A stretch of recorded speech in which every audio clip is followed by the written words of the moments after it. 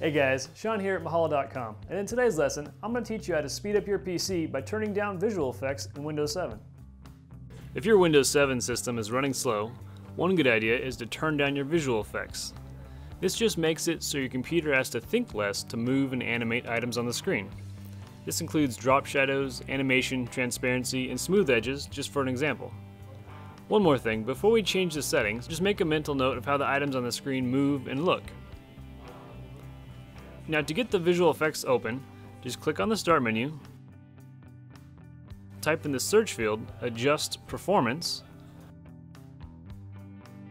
or you can click in the start menu, right click my computer, select properties, then click on advanced system settings, then click on the settings button.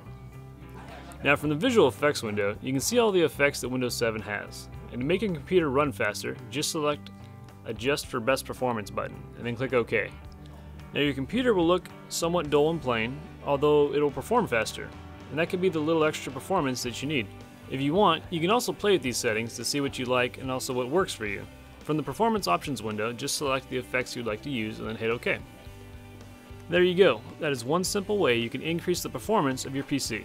If you'd like to stay connected to this learning course, make sure to subscribe and feel free to rate and comment below, and thanks for watching.